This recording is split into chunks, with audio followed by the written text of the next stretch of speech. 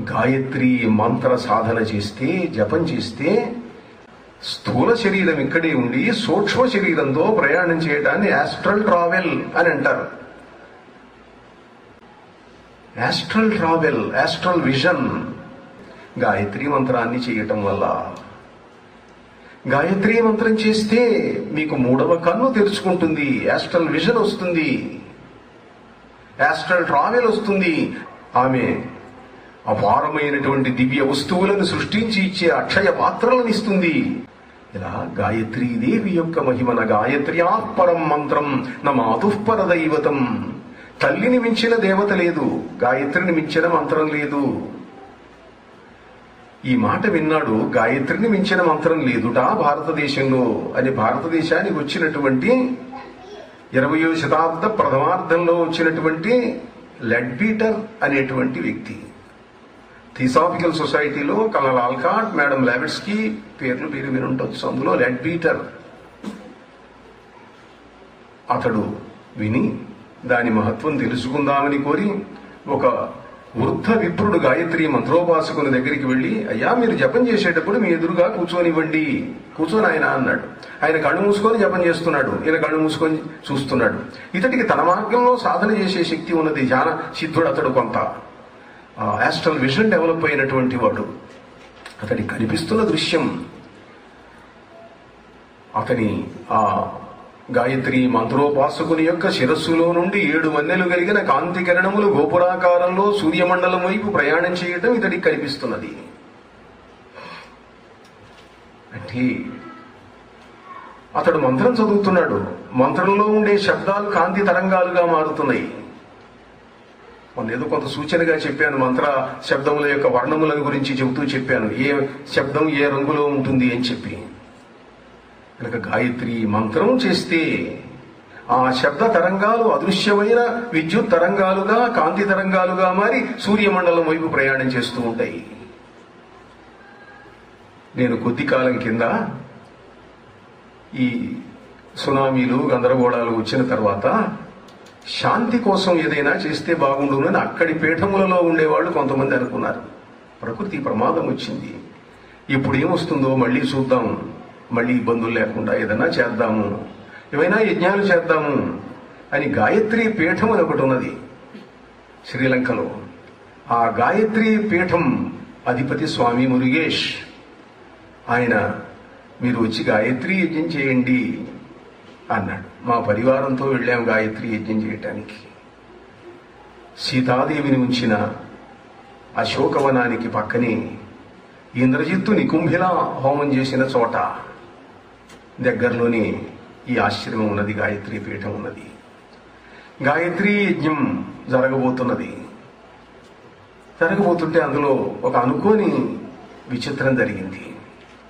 ఆ పీఠానికి మేనేజర్ ఒకతను ఉన్నాడు గుణశేఖర్ అన్నని. అతడు వారం రోజుల నుంచి జ్వరంతో బాధపడుతున్నాడు. ఊళ్ళంతా నిప్పులు తగ్గలేదు. స్వామివారి శిష్యుల్లో ఒకతను ఉన్నాడు ఒక మలేషియన్ ధ్యానయోగి. అతడు ఈజ్ అ మిస్టిక్ మ్యాన్. అతడు ఏమంటే ధ్యానం చేసి ఓ బాధను పోగొడతాడు. ఓ పదిహేను రోజులు ధ్యానం చేస్తాడు ఒక వ్యాధిని పోగొడతాడు. ఒక వారం రోజులు ధ్యానం చేస్తే చిన్న నొప్పులు పోగొడతాడు. అతడు చాలా అద్భుతమైనటువంటి వ్యక్తి. అతడి ప్రదర్శన పెట్టించాను నేను ఒకసారి గుంటూరులో. అతడు ఈ అనుబంధం ఏర్పడిన తర్వాత అది చెప్పబోతున్నాను. చాలా మందికి ఉన్నట్టుండి ఒక్క స్పర్శతో బాధలు పోగొట్టాడు. మంచి పెర్ఫార్మెన్స్ అతడు వస్తున్నాడు నా బాధ పోగొడతాడు అని ఈ మేనేజర్ ఎదురు చూస్తున్నాడు. బాధ పోతుంది అతడు వస్తే వెంటనే పోగొడతాడు గనుక. ఆ విమానం వెళ్ళిన అరగంటకి అతడి విమానం వచ్చింది. Ramanujam I'm waiting for you నా బాధ ఇది నా ఇబ్బంది ఇది వెంటనే నువ్వు పోగొట్టు అన్నాడు. నేను ఇప్పుడు పోగొట్టలేను అన్నాడు. ఏమిటయ్యా నేను వస్తూ వస్తూ నేను కంపెనీలో పనిచేస్తున్నాను. మా ప్రొపరేటర్కు పెరాలిటిక్ స్ట్రోక్ వచ్చింది. దాన్ని పోగొట్టడానికి నేను ప్రయత్నం చేశాను. నెల రోజులుగా నేను చేసినటువంటి ధ్యాన శక్తిని వినియోగిస్తే అతడి కుడి చేతిని కదిలించగలిగాను. ఇప్పుడు సంతకాలు పెడుతున్నాడు చెక్కుల మీద వాటి మీద. మళ్ళీ పోయి ఆయనకు చెయ్యాలా? అందువల్ల నా దగ్గర ఇప్పుడు ఏమీ లేదు ఇప్పుడు ఏం చేయడానికి లేదు. ధ్యానశక్తి ఖర్చు పెట్టేశాను అన్నాడు. సరేలే ఏం చేస్తాం? అన్నది ఎవరో భారతదేశం నుంచి ఎవరో ఒక ఆయన వచ్చాడు. యజ్ఞం చేయిస్తాడట స్వామివారు పిలిపించారు వచ్చారు అన్నారు. అందరం యజ్ఞశాలకు వెళ్ళాం. మూడు గంటల సేపు గాయత్రి మంత్రం జరిగింది. గాయత్రి హోమం చేస్తున్నాము. మూడు వేల మంది తమిళులు కొద్ది మంది సెలనీస్ సింహళీస్ ఉన్నారు. అద్భుతమైన యజ్ఞం. ఇందరూ గాయత్రి మంత్రాన్ని ఉచ్చరిస్తున్నారు. హోమం చేస్తున్నాము. మూడు గంటలైంది. ఆ పూటకి ఇంకా ఆపుతున్నాము. ఇతడు లేచి నిల్చున్నాడు సభామధ్యంలో. Now I can cu cure you. Come to me. Gunasekharam అన్నాడు. ఇతడు వెళ్ళాడు అక్కడికి. ఒక్కసారి టచ్ చేశాడు బాధ పోయింది జ్వరం పోయింది ఏమీ లేదు. థర్మామీటర్ పెట్టి చూసుకున్నాడు టెంపరేచర్ లేదు నిప్పులు పోయినాయి. అడిగారు మిత్రులు పక్కన ఉన్నవాళ్ళు మూడు గంటల కింద నువ్వు నువ్వు వల్ల కాదన్నావు? ఇప్పుడు ఎట్లా చేశావు? ఎట్లా చేశావు ఇప్పుడు? అంటే స్వామివారు గాయత్రి మంత్రాన్ని ఉచ్చరిస్తుంటే విన్నాను.